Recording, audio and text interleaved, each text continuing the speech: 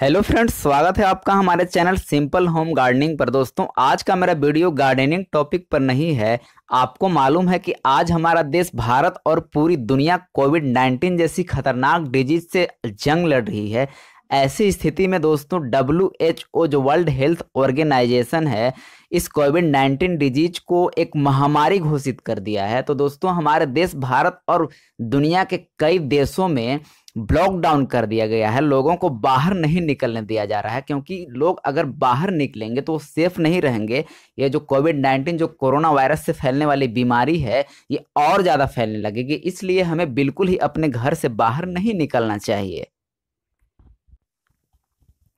अगर आप खुद को और अपने देश को इस कोविड 19 जैसी खतरनाक बीमारी से बचाना चाहते हैं, जिसका अभी तक कोई इलाज नहीं है तो आप अपने घर में ही रहें, अपने घर से बाहर ना निकले। साथ सफ़ाई का ख्याल ज़रूर रखें।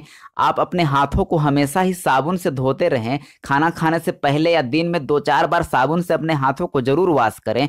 सैनिटाइजर से अपने हाथों को ज़रूर वॉश करें। कोई सामान लेने अगर आप मार्केट जा रहे हो तो आप मास्क का इस्तेमाल ज़रूर करें। अपने हाथ में ग्लोव्स का इस्तेमाल ज़रूर करें क्योंकि सफ़ाई और भीड़ से दूर रहना ही इस बीमारी की बेहतर इलाज है। अन्यथा आपको इन्फेक्शन हो सकता है।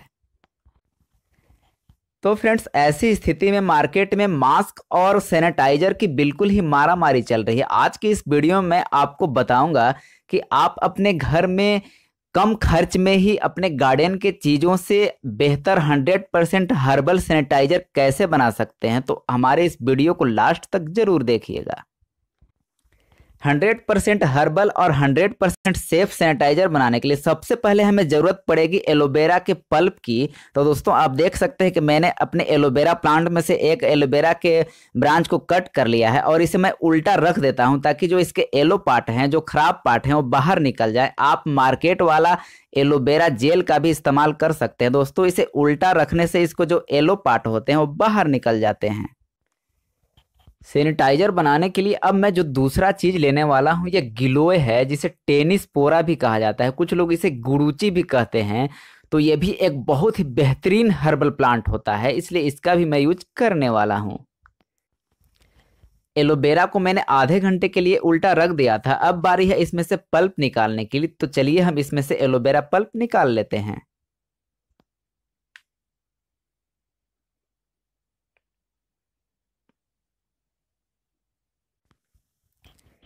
एलोवेरा पल्प को आप किसी स्पून की सहायता से आसानी से निकाल सकते हैं या आप नाइफ का भी यूज़ करके एलोवेरा पल्प को निकाल सकते हैं। तो चलिए इसे निकाल कर आपको दिखाते हैं।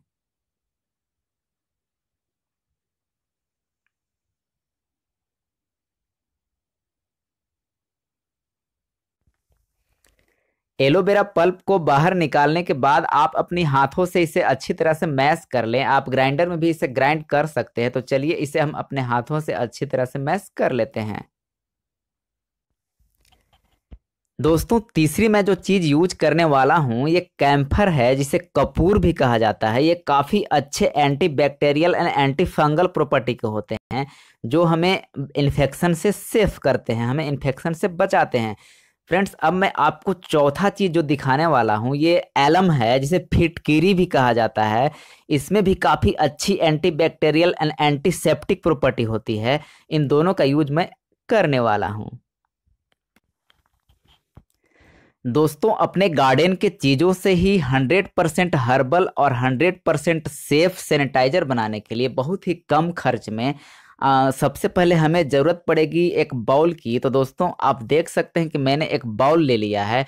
अब इसमें लगभग हम एक लीटर के करीब पानी ऐड करेंगे। दोस्तों एक लीटर के करीब चलिए हम इसमें पानी ऐड कर लेते हैं। उसके बाद सबसे पहला चीज़ हमें डालना है इसमें नीम लीफ। दोस्तों नीम लीफ में काफ़ी अच्छी एंटी बैक्टीरियल प्रॉपर्टी होती है, जो हमें कई तरह की बीमारियों और कई तरह की कीड़े मकोड़ों से बचाती है, बहुत सारे डिज़ीज़ से बचाती है तो इसमें हम लगभग 100 से डेढ़ सौ ग्राम के करीब नीम लीफ ऐड करेंगे। अब इसमें हम तुलसी ऐड करेंगे। दोस्तों, तुलसी का बहुत सारा मेडिसिनल यूज़ होता है, बहुत अच्छी प्रॉपर्टी के ये होते हैं, इसलिए हम इसमें लगभग थोड़ी सी तुलसी ऐड कर लेते हैं, जो मैंने मंजरी सहित यूज़ किया है। अब इसमें हम तीसरी चीज़ यूज़ करने वाले हैं, ये गिलोय की बेल है, जिसे गुरुच भी कहा जाता है।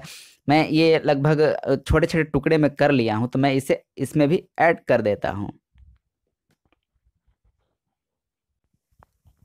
फ्रेंड्स, अब चौथी चीज़ इसमें हम डालने वाले हैं एलोवेरा की पल्प। दोस्तों, एलोवेरा जेल का भी इस्तेमाल आप कर सकते हैं। इससे आपके जो हैंड रहेंगे वो स्मूथ और काफ़ी सॉफ्ट रहेंगे।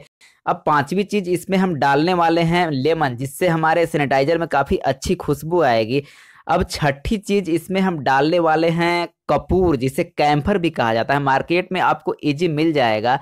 दोस्तों, अब सातवीं चीज़ इसमें हम डालने वाले हैं फिटकिरी यानी एलम। दोस्तों, ये भी आपको मार्केट में आसानी से मिल जाएगा। लगभग एक चम्मच के करीब फिटकिरी और कपूर हम डालेंगे। दोस्तों, अब आठवीं चीज़ इसमें हम डालने वाले हैं संतरे का छिलका। दोस्तों, संतरे के छिलके से हमारे जो सैनिटाइजर बनेंगे वो काफ़ी अच्छी उसमें से खुशबू आएगी। आप लेमन ग्रास का भी यूज़ कर सकते हैं। तो चलिए इस संतरे के छिलकों को हम छोटे छोटे टुकड़ों में डिवाइड कर लेंगे। उसके बाद हम अपने सैनिटाइजर में इस संतरे के छिलकों को डालेंगे।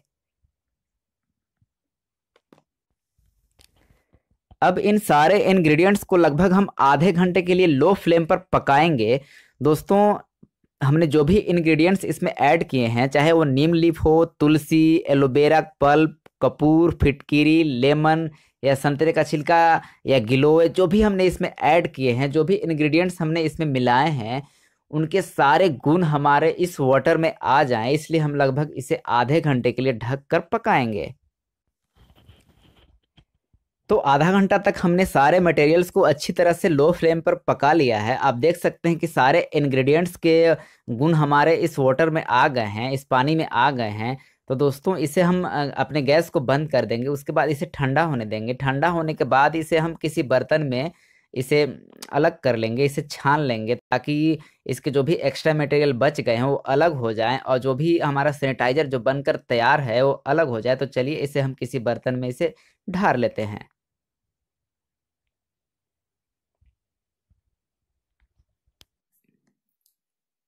तो इस तरह से मैंने अपने गार्डन के चीज़ों से बहुत ही कम खर्च में 100 परसेंट हर्बल और 100 परसेंट सेफ़ सैनिटाइजर को बनाकर बिल्कुल ही तैयार कर लिया है। आप देख सकते हैं। अब आप इसे किसी बोतल में भर सकते हैं। वो पंप वाला बोतल हो, चाहे वो फ्लैप वाले बोतल हो, उसमें आप भर सकते हैं, जिससे आपको आसानी से अपने हाथों को क्लीन करने में बिल्कुल ही आसानी हो। तो फ्रेंड्स इस तरह से मैंने अपने होम मेड सैनिटाइजर को जो बिल्कुल ही हर्बल 100 परसेंट हर्बल है, उसे छोटे छोटे फ्लैप वाले बोतल में भर लिया है। आप भी किसी स्प्रे वाले बोतल में या फ्लैप वाले बोतल में भर सकते हैं और उसे अपने पास आप हमेशा ही रखें, क्योंकि आपको हमेशा ही अपने हाथ को क्लीन करना है। तो दोस्तों, इस तरह से आप अपने हाथ में इसके चार से छः बूंद लेकर उसे अच्छी तरह से अपने हाथों को चारों तरफ़ से अच्छी तरह से उसे अपने हाथों को क्लीन करते रहें। तो फ्रेंड्स, आप भी अपने आप को और अपने देश को इस गंभीर बीमारी से सुरक्षित रखने के लिए इस सैनिटाइजर को अपने घर में ज़रूर बनाकर ट्राई करें, जो बिल्कुल ही हर्बल, हंड्रेड परसेंट हर्बल है। आपके गार्डन के चीज़ों से ही बहुत ही कम खर्च में इस सैनिटाइजर को मैंने बनाकर आपको दिखाया है। तो दोस्तों, आप सारे परिवार मिलकर इस सैनिटाइजर से हमेशा ही अपने हाथों को क्लीन करते रहें। अगर ये मेरा वीडियो आपको पसंद आए तो मेरे वीडियो को लाइक और शेयर ज़रूर करें। साथ ही साथ मेरे चैनल सिंपल होम गार्डनिंग को सब्सक्राइब करके बेल आइकन ज़रूर प्रेस करें ऐसे यूजफुल वीडियो के लिए। थैंक यू दोस्तों।